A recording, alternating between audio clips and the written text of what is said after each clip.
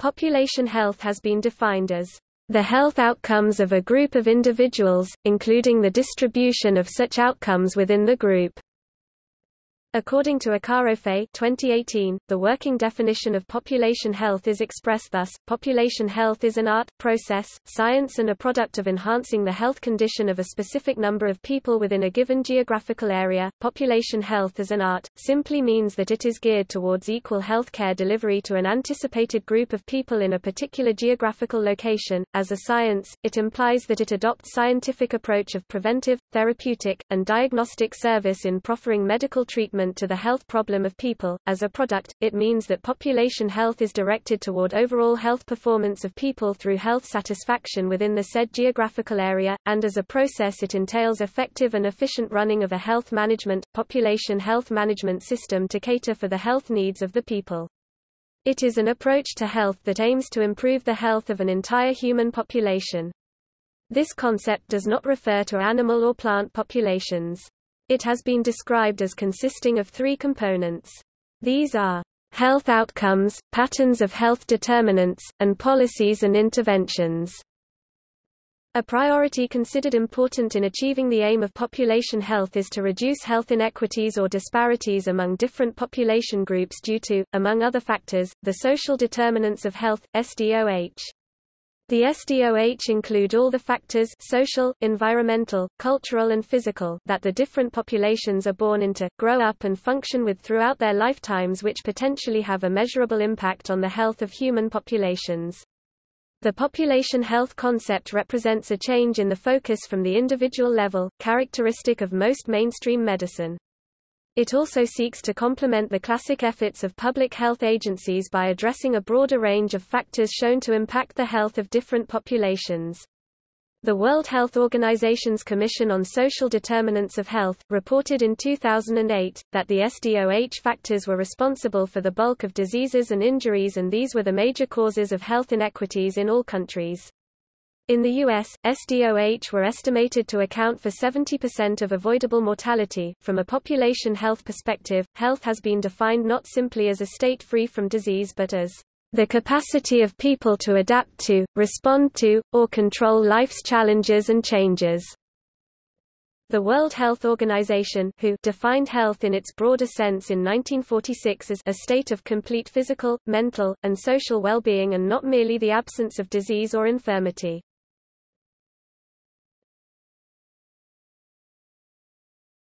Topic: Healthy People 2020. Healthy People 2020 is a website sponsored by the U.S. Department of Health and Human Services, representing the cumulative effort of 34 years of interest by the Surgeon General's Office and others. It identifies 42 topics considered social determinants of health and approximately 1,200 specific goals considered to improve population health. It provides links to the current research available for selected topics and identifies and supports the need for community involvement considered essential to address these problems realistically.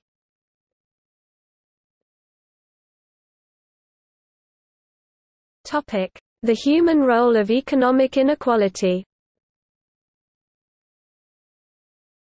Recently, human role has been encouraged by the influence of population growth. There has been increasing interest from epidemiologists on the subject of economic inequality and its relation to the health of populations.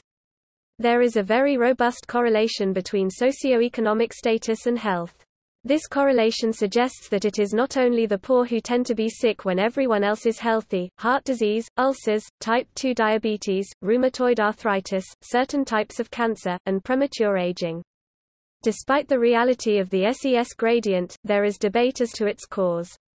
A number of researchers A. Leigh, C. Jencks, A. Clarkwest, See also Russell Sage working papers see a definite link between economic status and mortality due to the greater economic resources of the better off, but they find little correlation due to social status differences. Other researchers such as Richard G. Wilkinson, J. Lynch, and G. A. Kaplan have found that socioeconomic status strongly affects health even when controlling for economic resources and access to health care. Most famous for linking social status with health are the Whitehall Studies, a series of studies conducted on civil servants in London. The studies found that, despite the fact that all civil servants in England have the same access to health care, there was a strong correlation between social status and health. The studies found that this relationship stayed strong even when controlling for health-affecting habits such as exercise, smoking and drinking. Furthermore, it has been noted that no amount of medical attention will help decrease the likelihood of someone getting type 1 diabetes or rheumatoid arthritis, Yet both are more common among populations with lower socio-economic status. Lastly, it has been found that amongst the wealthiest quarter of countries on Earth a set stretching from Luxembourg to Slovakia there is no relation between a country's wealth and general population health 1. Suggesting that past a certain level, absolute levels of wealth have little impact on population health, but relative levels within a country do. The concept of psychosocial stress attempts to explain how psychosocial phenomenon such as status and social stratification can lead to the many diseases associated with the SES gradient. Higher levels of economic inequality tend to intensify social hierarchies and generally degrades the quality of social relations, leading to greater levels of stress and stress-related diseases. Richard Wilkinson found this to be true not only for the poorest members of society, but also for the wealthiest. Economic inequality is bad for everyone's health. Inequality does not only affect the health of human populations. David H. Abbott at the Wisconsin National Primate Research Center found that among many primate species, less egalitarian social structures correlated with higher levels of stress hormones among socially subordinate individuals. Research by Robert Sapolsky of Stanford University provides similar findings. Topic research There is well-documented variation in health outcomes and health care utilization and costs by geographic variation in the U.S., down to the level of hospital referral regions defined as a regional health care market, which may cross state boundaries, of which there are 306 in the U.S. There is ongoing debate as to the relative contributions of race, gender, poverty, education level and place to these variations. The Office of Epidemiology of the Maternal and Child Health Bureau recommends using an analytic approach fixed effects or hybrid fixed effects to research on health disparities to reduce the confounding effects of neighborhood geographic variables on the outcomes.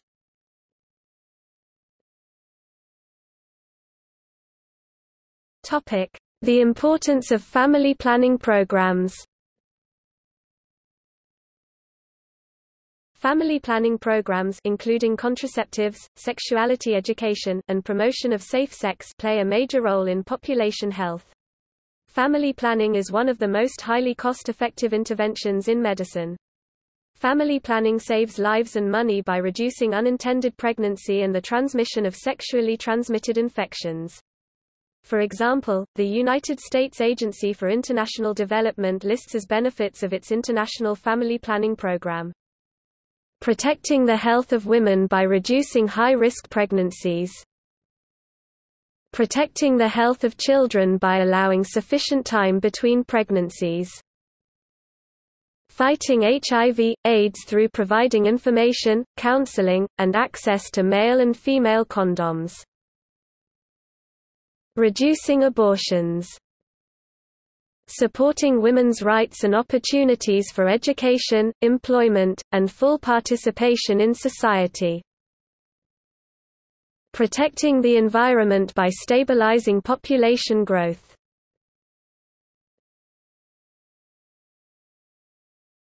Topic: Population Health Management (PHM). One method to improve population health is population health management (PHM), which has been defined as the technical field of endeavor which utilizes a variety of individual, organizational and cultural interventions to help improve the morbidity patterns i.e., the illness and injury burden and the health care use behavior of defined populations. PHM is distinguished from disease management by including more chronic conditions and diseases, by use of a single point of contact and coordination, and by predictive modeling across multiple clinical conditions. PHM is considered broader than disease management in that it also includes intensive care management for individuals at the highest level of risk, and personal health management for those at lower levels of predicted health risk. Many PHM-related articles are published in Population Health Management, the official journal of DMAA, the Care Continuum Alliance. The following roadmap has been suggested for helping healthcare organizations navigate the path toward implementing effective population health management. Establish precise patient registries. Determine patient-provider attribution.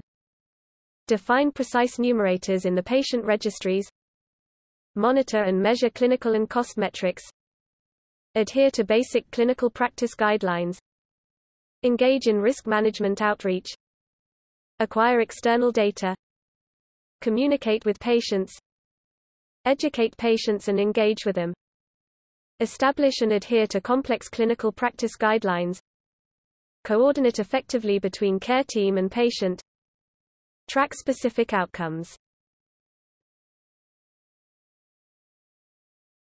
Topic: Healthcare reform and population health. Healthcare reform is driving change to traditional hospital reimbursement models. Prior to the introduction of the Patient Protection and Affordable Care Act PPACA, hospitals were reimbursed based on the volume of procedures through fee-for-service models. Under the PPACA, reimbursement models are shifting from volume to value. New reimbursement models are built around pay for performance, a value-based reimbursement approach, which places financial incentives around patient outcomes and has drastically changed the way U.S. hospitals must conduct business to remain financially viable.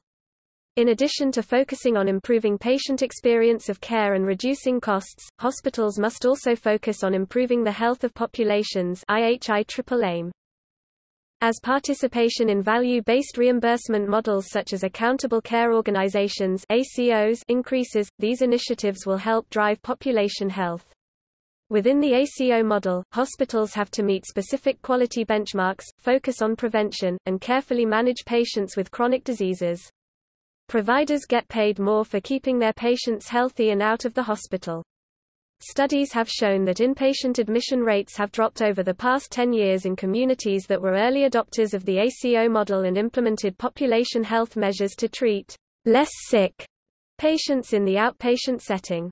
A study conducted in the Chicago area showed a decline in inpatient utilization rates across all age groups, which was an average of a 5% overall drop in inpatient admissions. Hospitals are finding it financially advantageous to focus on population health management and keeping people in the community well. The goal of population health management is to improve patient outcomes and increase health capital.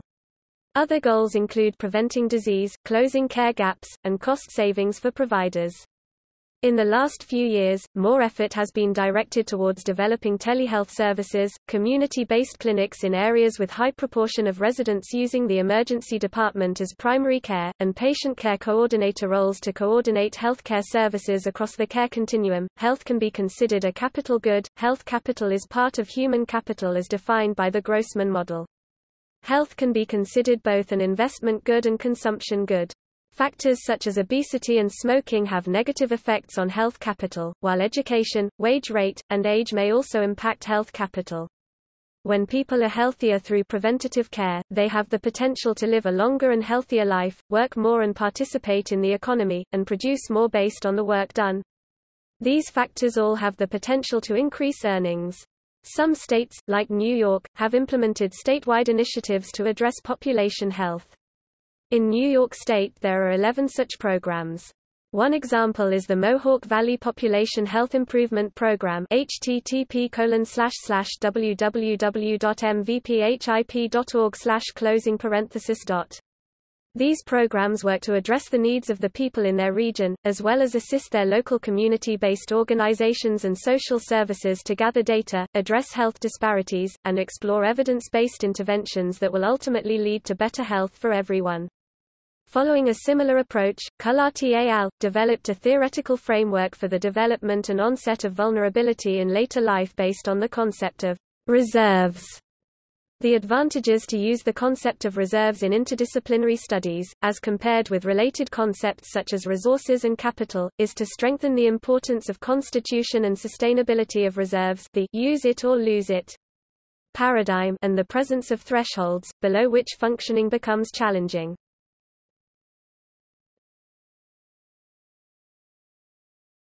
Topic: Statistics.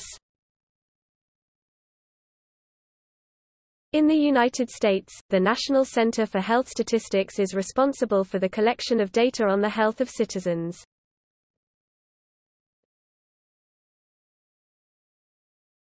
Topic: See also Auxology Community health Economic inequality Health disparities Health impact assessment Inequality in disease List of countries by income equality Population Health Forum Social determinants of health Pop Health